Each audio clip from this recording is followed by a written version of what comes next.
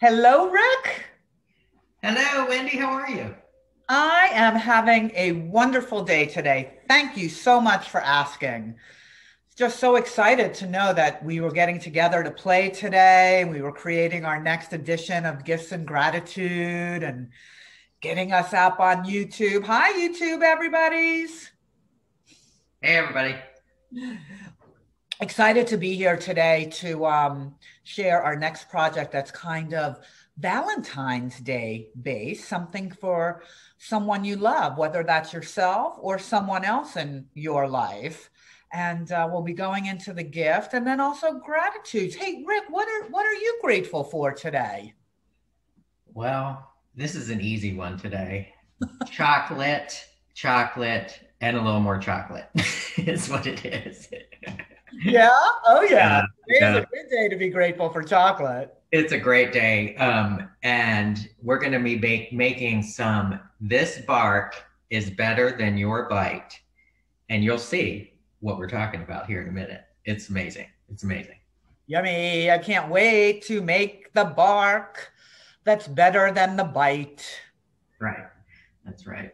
Um, and another cool thing about this is like a lot of people that have seen our videos, you can customize this 100 ways to Sunday. Um, and we're going to be doing it, uh, Wendy's doing it a little bit differently than I'm going to be doing it, but there's countless ways that you could jazz this up um, the way you like it for if you're gifting it or for yourself. Perfect. And as usual, we're, we're suggesting you probably have these ingredients in your home, all the way from the chocolate to the packaging we're going to share with you. So, absolutely. Let's have some fun. Let's do it. So, we're going to start. Like I said, this is called This Bark is Better Than Your Bite we made that up. It's it's your general uh, basic chocolate bark. So if you haven't made it before, you'll see just how easy it is and how you can make it your own. You what know, I don't know if you know this about uh, me and Rick, but we make a lot of stuff up because look, it's all made up, right? So let's make up the good stuff. Here we go. Okay, so this is this is basically well two ingredients, but depending on how much you want to put on your bark, it it could go up to you know however many things you want to put on it. But really it's dark chocolate and what i'm using um, is a semi-sweet dark chocolate. Looks like wendy is as well. And then if you'd like to some white chocolate which you can drizzle on top but i think wendy has something else in store for us correct i do i do i'm going to just give you a tease of what i have in store yeah. magic with some peanut butter, and we're going to see how that works because I love chocolate and peanut butter. Oh my God. So do I. Actually, you know what? I just thought of look what I still have left over the little Reese's Ooh. from Christmas. Yes, you can always, I, I, can eat those. Oh my gosh, I could eat those every day. So you have your two kinds of chocolate or chocolate and peanut butter in Wendy's case. Um, and then any toppings you're going to put on, and it looks like you're doing some pretzels for the salty. Um, I can't tell what's in the middle. Let everyone know what that is. Cherries. Oh, yum. Okay. And then Montmorency cherries. Excellent. And some mixed nuts, right? Yep, some almonds. Oh, okay. Almonds. also have these little um, candy shop rainbow chips. I may or may not use. I'm not sure, but uh, I have those as well. Okay.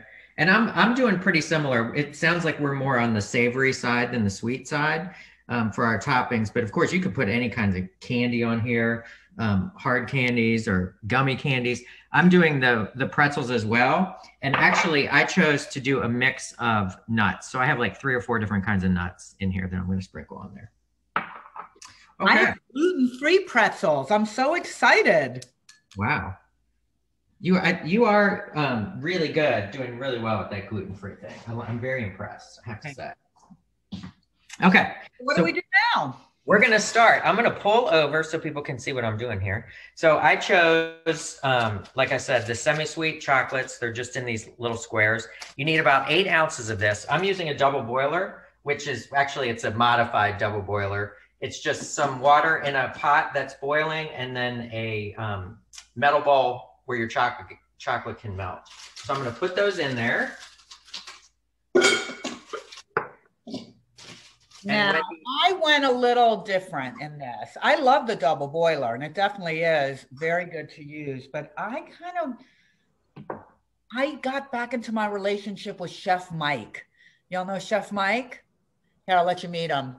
There he is. Say hey to Chef Mike. Where? hey, everybody.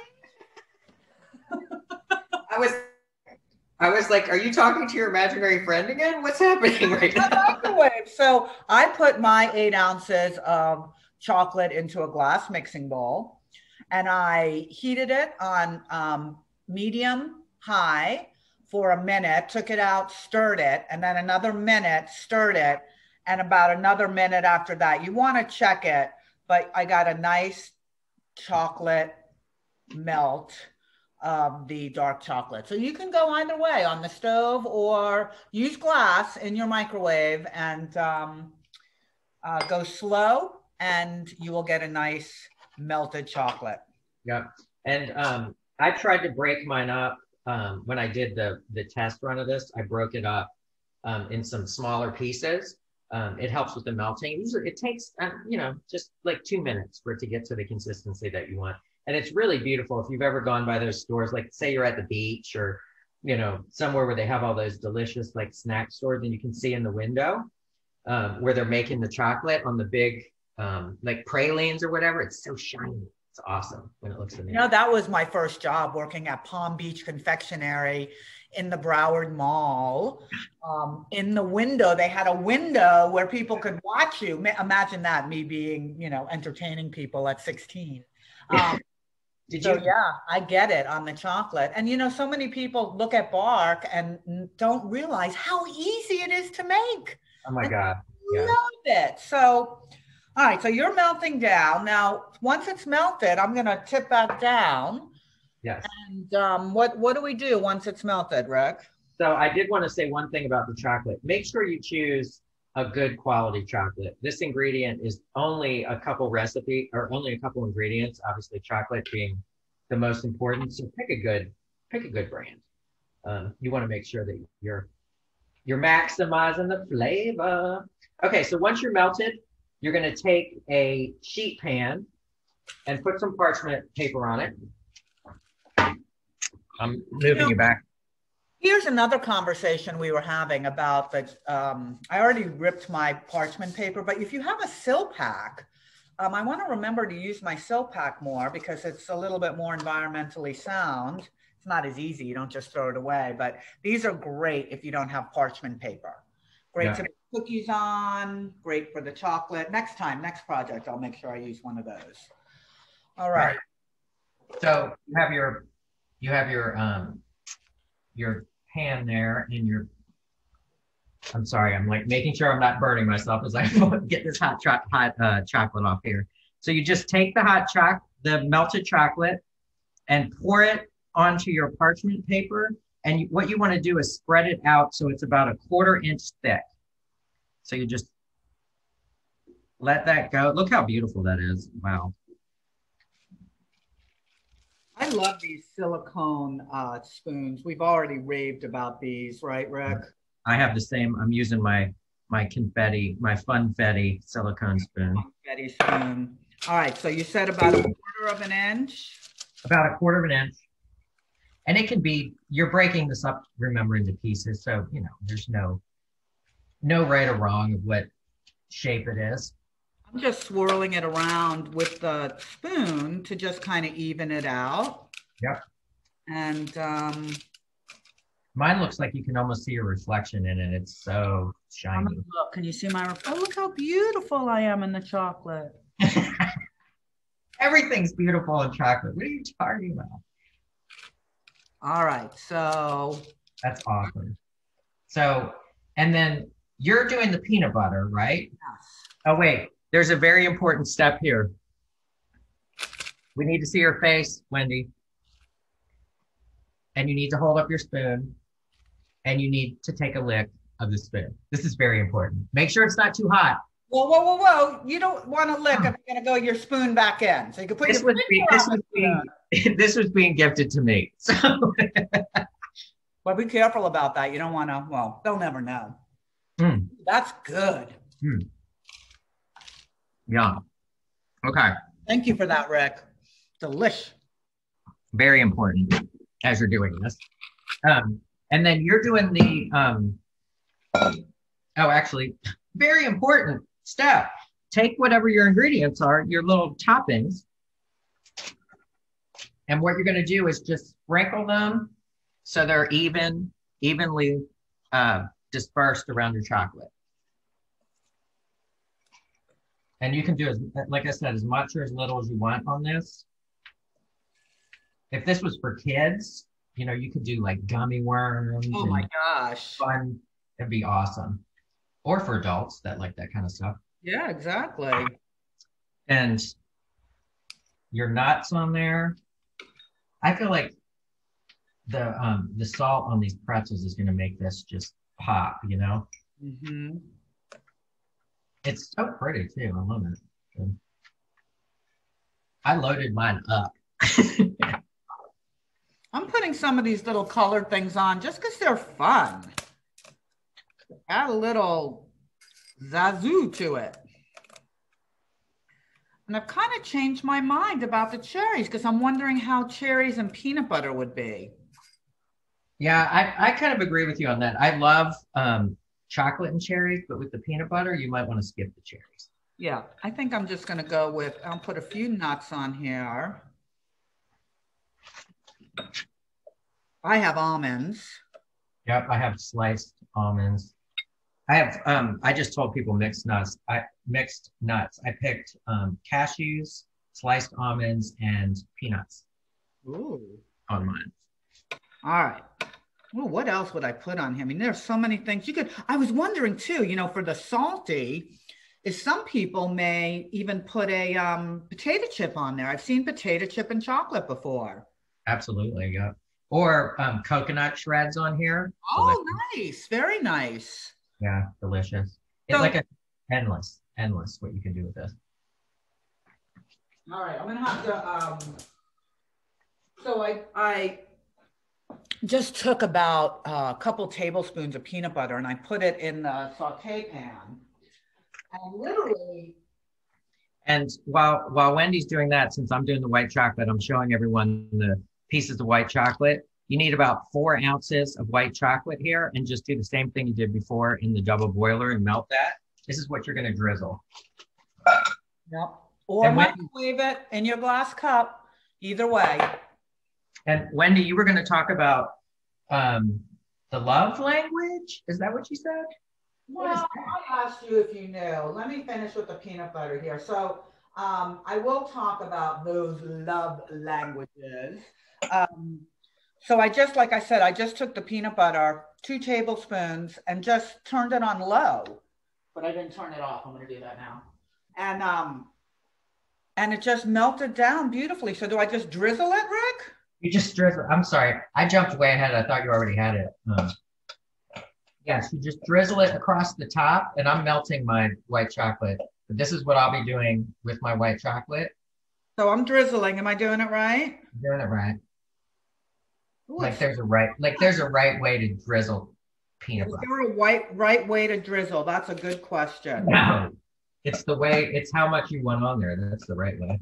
Yeah, I think there's two tablespoons. Oh, I got a little bit of a pile there. Whoopsie. Got to keep moving with the drizzle.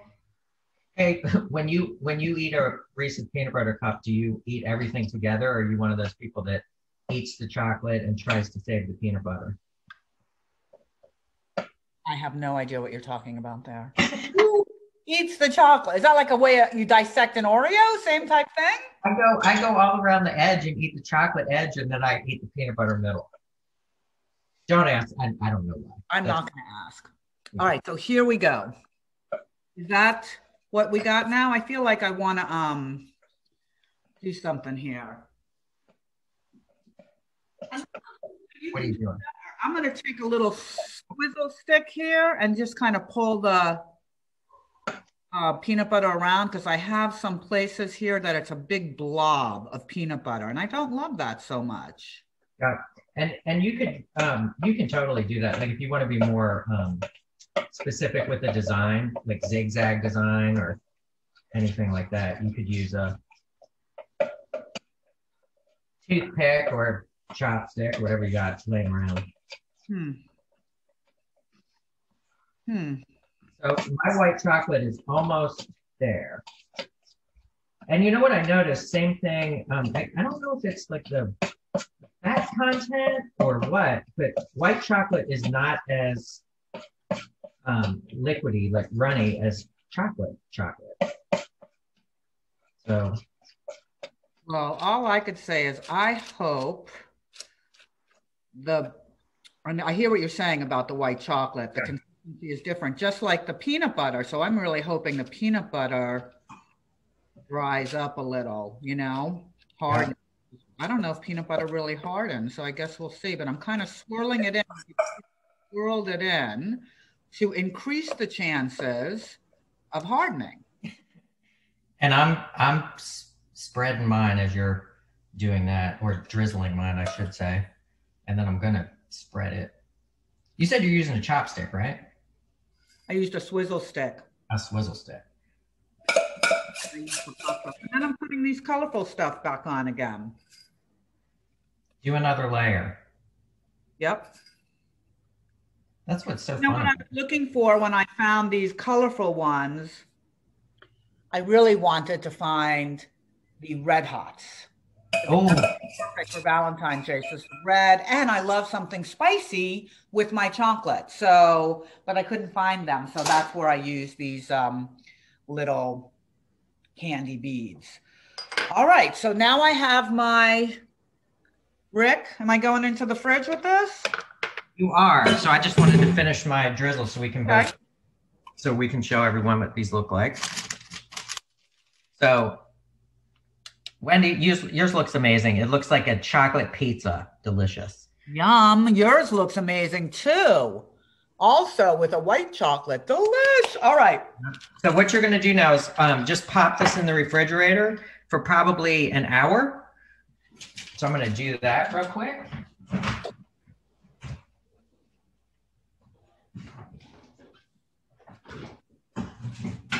it is.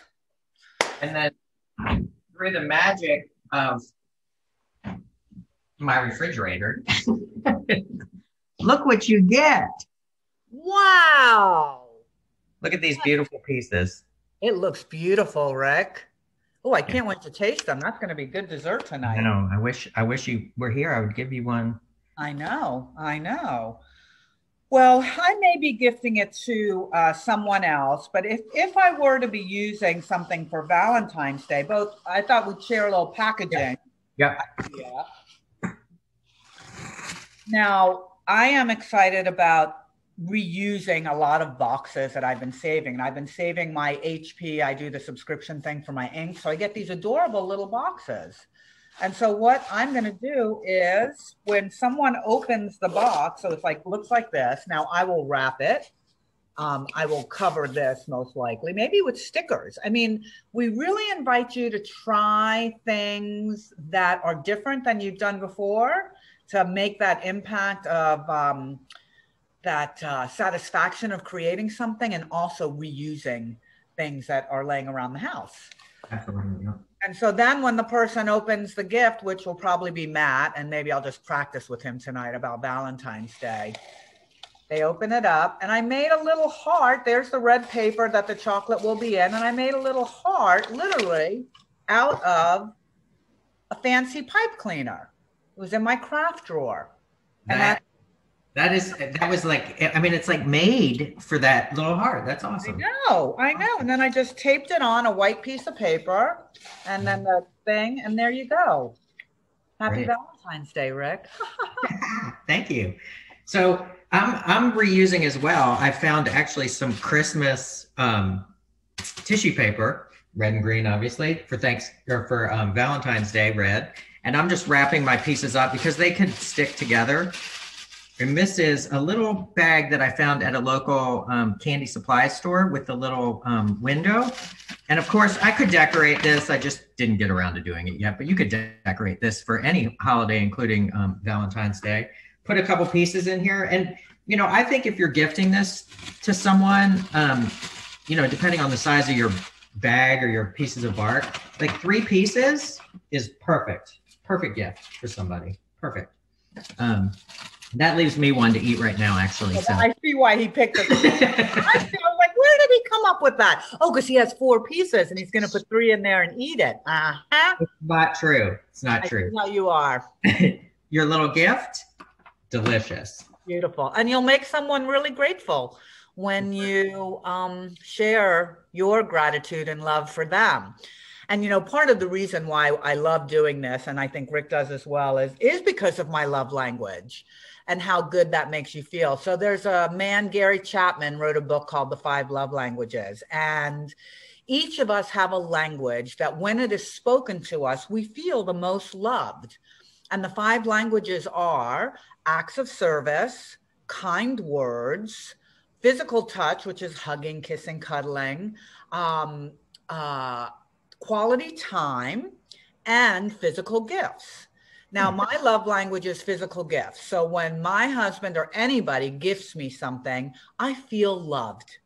I feel loved. And so when you know your partner's love language, you can do things for them, personalize the gifts, so to say, so they feel the most loved. Hmm. I remember I, when I first learned this, Rick. Um, go ahead.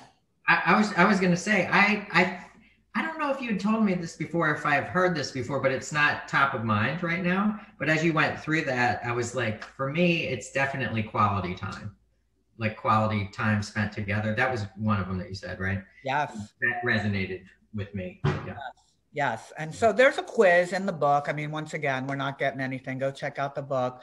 I know that it made a big dip, impact in my relationship because, um, well, maybe another time. Call me. Well, I'll tell you about that story about love languages and Matt in the grocery store some other time. I was going to say, put a link below. Let's yeah, talk. Right, right.